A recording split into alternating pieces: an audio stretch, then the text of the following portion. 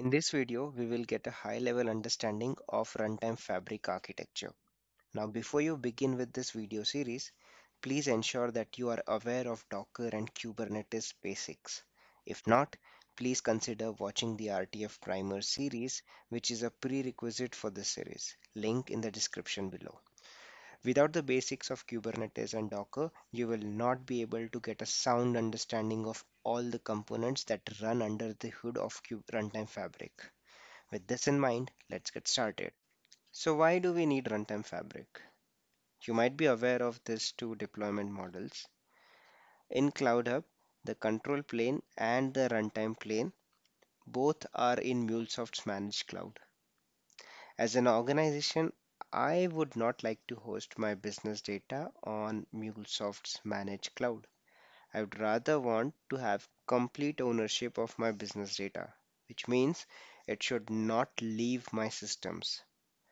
For such requirements, CloudHub doesn't work. Also, CloudHub allows one Mule application per worker, which is good, but spinning up a new worker which basically is a virtual machine, and then deploying application can sometimes become time consuming, right? So these are the two drawbacks or limitations of CloudHub. So for that, we have hybrid. In hybrid, the control plane is in MuleSoft's managed cloud and it only stores the metadata. And the runtime plane which has the real business data flowing through it, is on customers' premises. So in that case, we have we can have a runtime deployed to customers on-premise system. So on one single runtime, there is possibility to deploy multiple applications.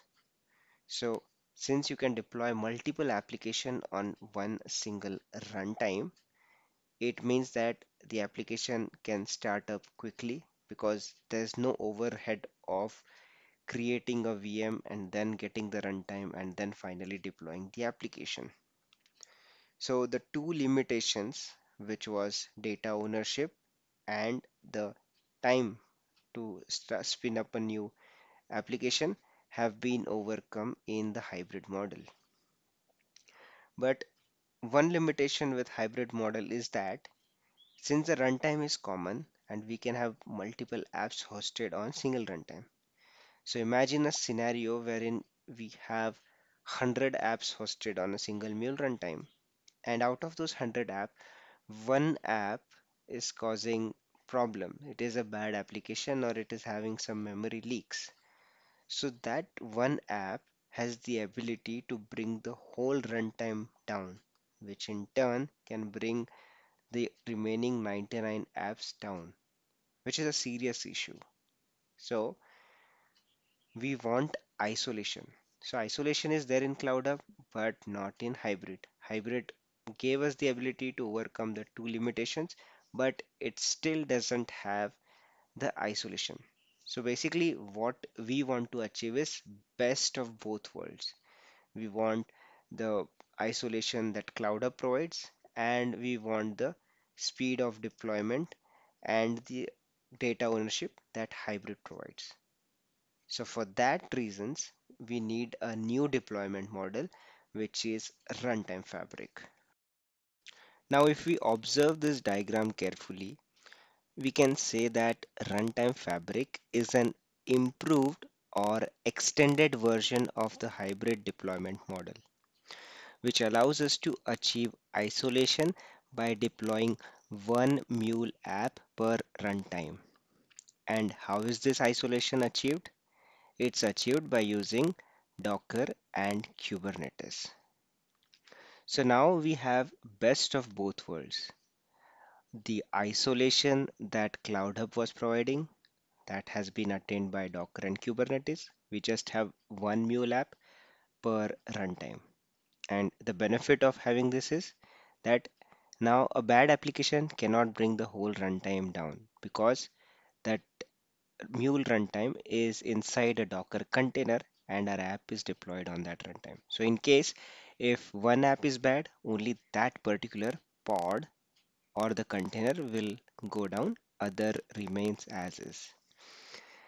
And other benefit of this isolation is that we can have one app running on Mule version 3 and we can have another Mule app running on Mule version 4. So we can have multiple versions of Mule running, which is not possible in hybrid. In hybrid, if the Mule server is created on Mule version 4.3, all apps should have 4.3 version only. Only in that case it will work. Any Mule 3 app cannot work on uh, a hybrid runtime, hybrid deployment model where the runtime is having version 4.3. So that's yet another benefit. And we have all the benefits of the hybrid model wherein our business data remains completely under our control. It's not going to the control plane. The only thing that goes to the control plane is the metadata related to the runtime. So RTF is available in different flavors. Let's understand those. So the first is appliance. Then we have BYOK, bring your own Kubernetes. And the latest offering is BYOOS, which is bring your own Red Hat OpenShift. Let's try to understand this. Now, when the offering is an appliance offering, right? So in that case, you don't have to provide a Kubernetes cluster. All you need to provide is the infrastructure to hold that Kubernetes cluster. So basically, you have to provision a virtual machine along with all the necessary required space. So you assign a VM with attached drives in it. That's all. MuleSoft will automatically install Kubernetes and on top of it, it will deploy its RTF agents. So that's the appliance model. So you basically just give them the infrastructure, they will give you an appliance and you install it so that appliance gets everything ready for you. So that's the appliance model. The other one is bring your own Kubernetes. So it's quite clear from the name that you have to give bring your Kubernetes. So you in case if you are already having a Kubernetes cluster, just give it to MuleSoft. They'll install their runtime fabric agent and then uh, the deployment of app can take place. So this is in case if you already have an existing Kubernetes cluster, you can just give it and uh, the agent can be installed on it. And the newest offering is BYOOS, which is bring your own Red Hat OpenShift.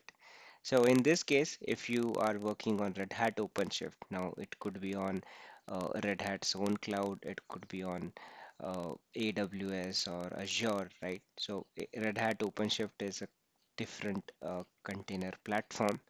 In case if it is, then you can leverage that option. Now BYOK also has multiple options available. So it could be Azure Kubernetes Service, GKE, EKS, DigitalOcean Kubernetes Service. So pretty much if you have any Kubernetes cluster, RTF can be deployed by using the bring your own Kubernetes uh, deployment option. Now let's understand the RTF architecture.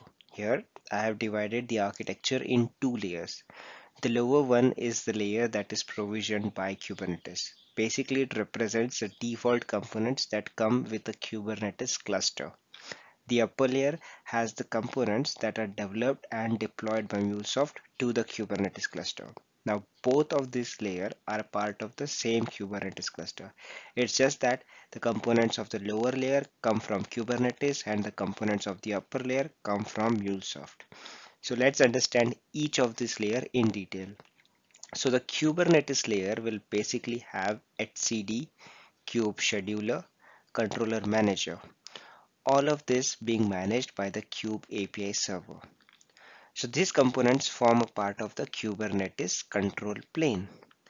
Now there are other components that form the runtime plane and they, those are Docker registry, which is basically to retrieve images from a private registry, Docker for containerization, and Flannel or similar container networking interface.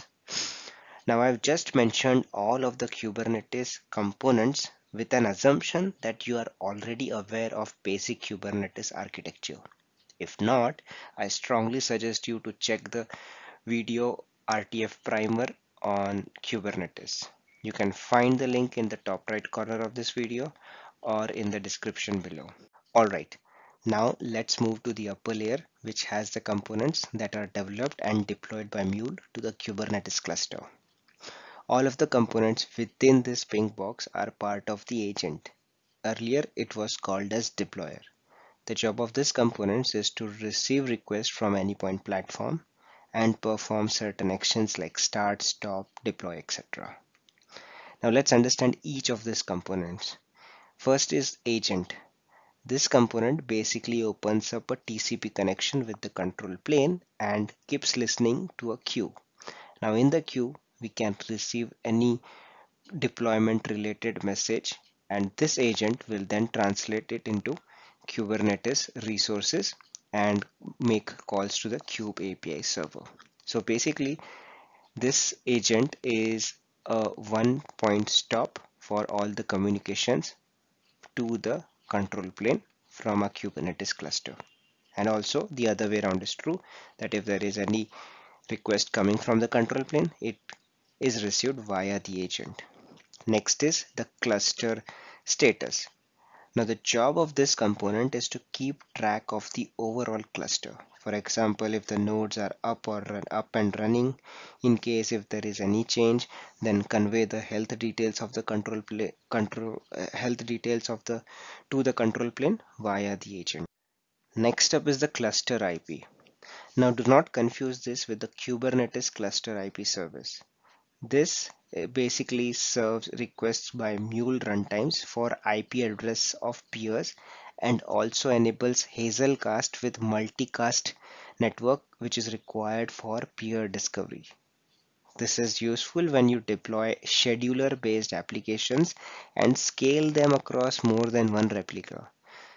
So in such cases, you would want to enable clustering among the runtimes so that the scheduler runs only on one of the API and not on all of them. And to achieve this, they need to the runtimes need to be aware of each other and this is attained by the cluster IP. Next is the anypoint monitoring. This component is responsible for sending runtime related metrics to the anypoint platform control plane.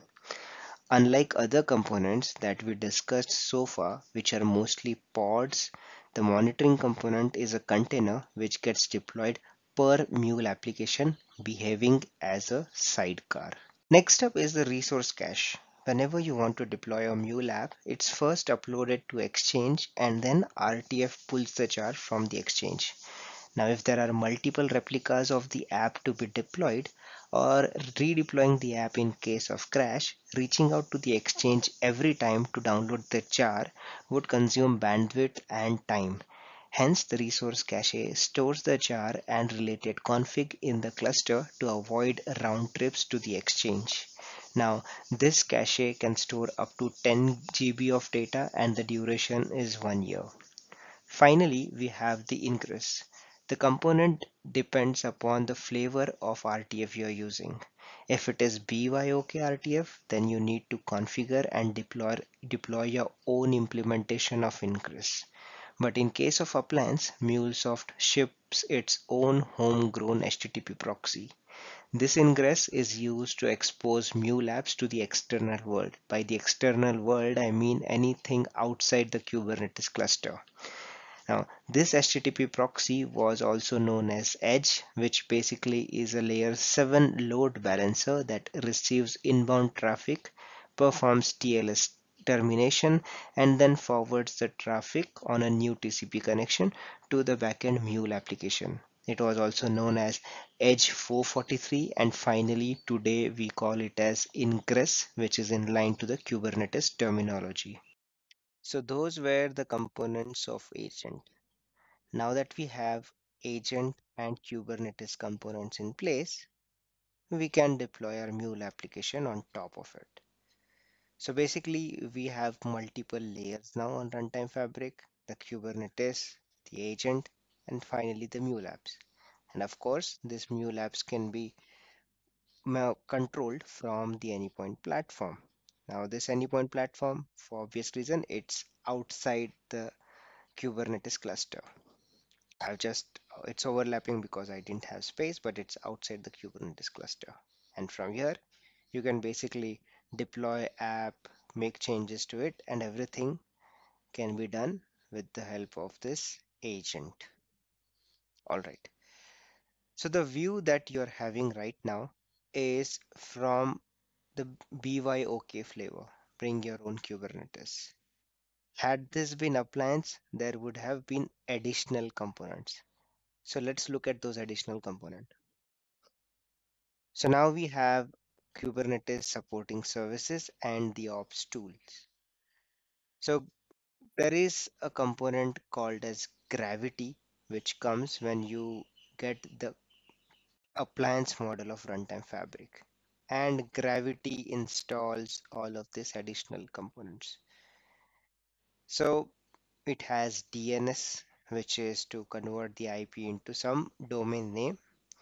By default, Kubernetes also provides this DNS kube DNS pods and that can manage, but Gravity also has its own.